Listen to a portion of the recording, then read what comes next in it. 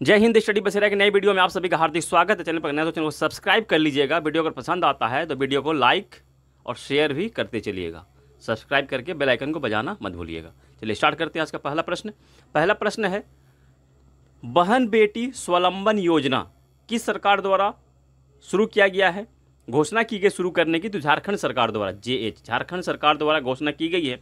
इस योजना के तहत में 25 से 50 वर्ष की महिलाओं को प्रति माह एक हज़ार रुपया प्रदान किया जाएगा, दिया जाएगा सरकार की तरफ़ से। एक हज़ार रुपया इस योजना के तहत झारखंड सरकार द्वारा दिया जाएगा। इस तरह की योजनाएँ और भी राज्य में चालू हुई है तो उसका मैंने नाम यहाँ लिख दिया है तो उसका मैं स्टेट बताते जा रहा हूँ और ये पैसा कितने दिए जा रहे हैं, उसके बारे में नोट डाउन करते चलिएगा।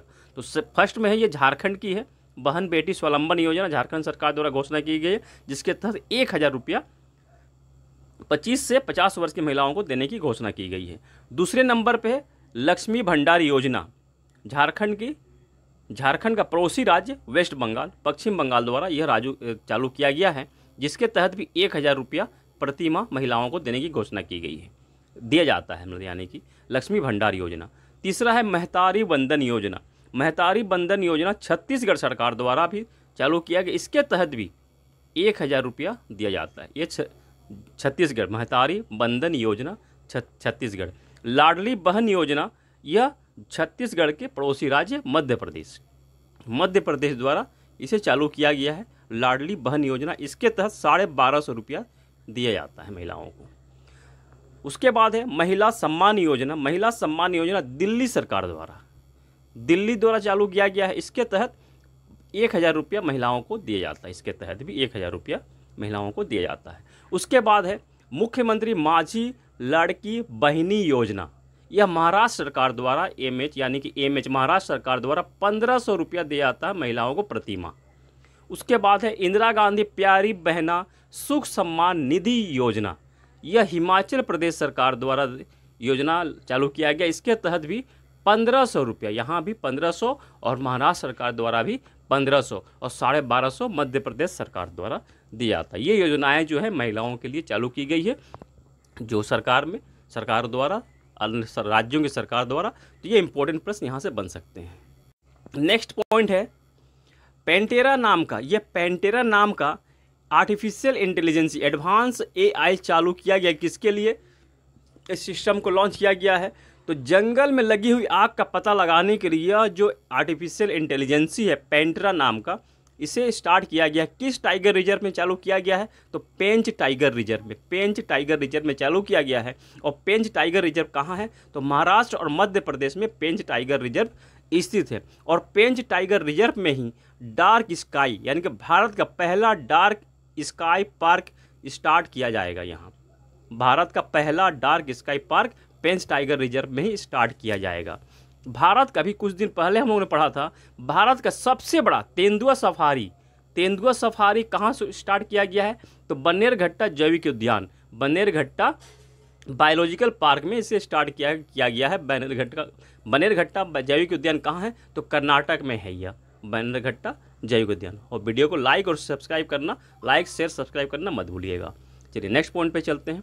नेक्स्ट पॉइंट है चंद्रयान फोर इसरो इसरो द्वारा चंद्रयान फोर को स्टार्ट करने की योजना बनी है। तो किस मिशन के तहत, मिशन का नाम रखा गया स्पाडेक्स मिशन।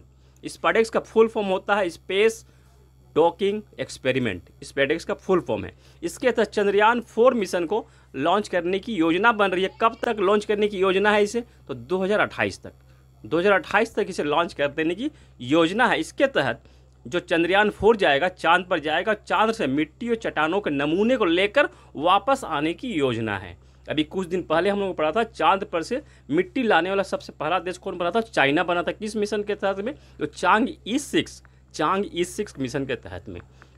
और इसे, ये जो चंद्रयान फोर है, इसके तहत दो हिस्सों में इसे इसे लॉन्च किया जाएगा। दो इसका चरण होगा। अंतरिक्ष में दोनों दोनों हिस्सों को जोड़कर फिर चाँद पर इसे लॉन्च किया जाएगा, उतारा जाएगा। और इसरो द्वारा ही भारत का पहला अंतरिक्ष स्टेशन भी कब तक योजना बनी है? अंतरिक्ष स्टेशन स्थापित करने की 2035 तक इसको हम लोगों ने पिछले वीडियो में, पहले के वीडियो में भी पढ़ा है। और जो अंतरिक्ष स्टेशन स्टार्ट किया, बनाया जाएगा 2035 तक लक्ष्य रखा गया है स्थापित करने का, भारत का अपना अंतरिक्ष स्टेशन, उसका नाम रखा जाएगा भारत अंतरिक्ष स्टेशन। और इसरो द्वारा इंसान को चाँद पर भेजने का भी लक्ष्य है। कब तक का लक्ष्य है? 2040 तक। 2040 तक चाँद पर मिशन, चाँद पर इंसान को भेजने का भी लक्ष्य है।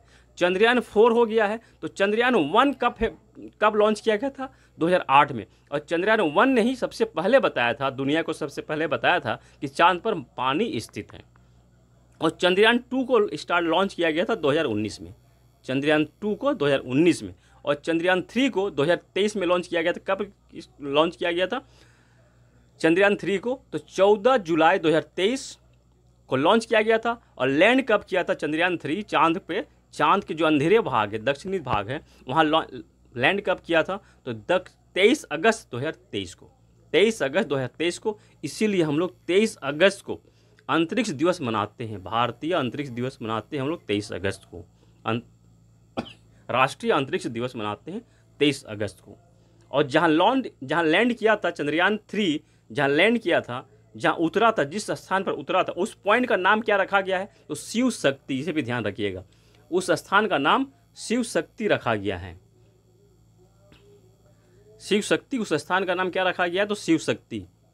यहाँ मैं लिखना भूल गया था, परंतु मैं लिख दूँगा यहाँ पे स्क्रीन पे एडिट के समय में। शिव शक्ति रखा गया था। रोवर का नाम क्या था? रोवर का नाम था प्रज्ञान और लैंडर का नाम था विक्रम। और चंद्रयान थ्री के प्रोजेक्ट डायरेक्टर का नाम था पी बीर मुथुवेल पी बीर मुथुवेल। चलिए। क्रिकेट के संन्यास, क्रिकेट से संन्यास अभी इस साल लिए हैं। कौन कौन से? अभी टी ट्वेंटी वर्ल्ड कप के बाद भारतीय खिलाड़ी, तीन खिलाड़ियों ने संन्यास लिया है। उनमें से भारतीय कप्तान रोहित शर्मा, दूसरे नंबर पर विराट कोहली और रविंद्र जडेजा। ये तीनों ने टी ट्वेंटी वर्ल्ड कप से संन्यास ले लिया। टी ट्वेंटी क्रिकेट से संन्यास ले लिया है तीनों ने। और ऑस्ट्रेलियाई क्रिकेटर डेविड वार्नर और न्यूजीलैंड के क्रिकेटर ट्रेंट बोल्ट भी इंटरनेशनल क्रिकेट से संन्यास ले लिए तो भारतीय जो मैंने नाम बताया, रोहित शर्मा, विराट कोहली, रविंद्र जडेजा रविंद्र जडेजा, इन्होंने टी ट्वेंटी क्रिकेट से संन्यास लिया है और डेविड वार्नर इंटरनेशनल क्रिकेट के सभी फॉर्मेटों से इन्होंने संन्यास लिया है। इंपॉर्टेंट फैक्ट सा चलिए, नेक्स्ट पॉइंट देखते हैं। नेक्स्ट पॉइंट है, Venkaiah Venkaiah Naidu life in service, ये एक बुक का नाम है। तो किसके द्वारा लिखा गया है? तो एस नागेश कुमार द्वारा, एस नागेश कुमार द्वारा लिखा गया है। किनके जीवन पर आधारित है? तो पूर्व उपराष्ट्रपति वेंकैया नायडू के जीवन पर आधारित यह पुस्तक है और इसका विमोचन या फिर इसके रिलीज़ किया है प्रधानमंत्री नरेंद्र मोदी द्वारा इसके रिलीज़ किया गया है। पूर्व उपराष्ट्रपति वेंकैया नायडू 2017 से 2017 से 2022 तक भारत के उपराष्ट्रपति थे। और उपराष्ट्रपति थे 2022 तक। इनको पद्म विभूषण इसी वर्ष 2024 में इन्हें पद्म विभूषण से भी सम्मानित किया गया है। चलिए नेक्स्ट पॉइंट पे चलते हैं। नेक्स्ट पॉइंट है, अमरनाथ गुफा की जो यात्रा है, इसे स्टार्ट कर दिया गया है 29 जून से और यह 15 अगस्त तक चलेगी। 29 जून से 15 अगस्त तक अमरनाथ यात्रा चलेगी। तो अमरनाथ गुफा जम्मू कश्मीर के कहाँ स्थित है अनंतनाग जिला में स्थित है? अनंतनाग जिला में स्थित है और इसे जाने के समय किस दर्रे को पार करना पड़ता है? तो उस दर्रे का नाम है महागुनस दर्रा। महागुनस दर्रा ये नाम है। और महा अमरनाथ की गुफा किस भगवान को समर्पित है? तो भगवान शिव को समर्पित है। तो यहाँ पे जो अमरनाथ गुफा है, इससे एक प्रश्न बना था के में आया हुआ था। तो कौन सा प्रश्न था? कमेंट सेक्शन में बताइएगा। कबूतर से संबंधित है। चलिए, वीडियो अगर पसंद आ रहा है तो वीडियो को लाइक भी करते चलिएगा। नेक्स्ट पॉइंट पे चलते हैं। नेक्स्ट पॉइंट है, धर्मपुरा श्रीनिवास धर्मपुरी श्रीनिवास धर्मपुरी श्रीनिवास तेलंगाना के विधान परिषद के प्रथम विपक्ष के नेता थे। 2014 से 2015 तक ये विपक्ष के नेता थे। विधान परिषद में, विधानसभा की बात नहीं कर रहा हूँ मैं। विधान परिषद के, तेलंगाना के विधान परिषद के विपक्ष के नेता थे। पहले विपक्ष के नेता थे धर्मपुरी श्रीनिवास श्रीनिवास। इनका निधन 29 जून 2024 में हो गया है। 29 जून 2024 में हो गया है। पहले हैं, तेलंगाना के विधान परिषद पहले इसलिए इम्पोर्टेंट ये बन सक, बन सकता है, यहाँ से प्रश्न बन सकते हैं। प्रथे, पहले प्रतिपक्ष के नेता या विपक्ष के नेता थे, तेलंगाना के इसलिए यहाँ से प्रश्न बन सकते हैं। तो आज के लिए इतना ही। मिलते हैं फिर नए वीडियो में, तब तक जय हिंद, स्वस्थ रहें, मस्त रहें, धन्यवाद।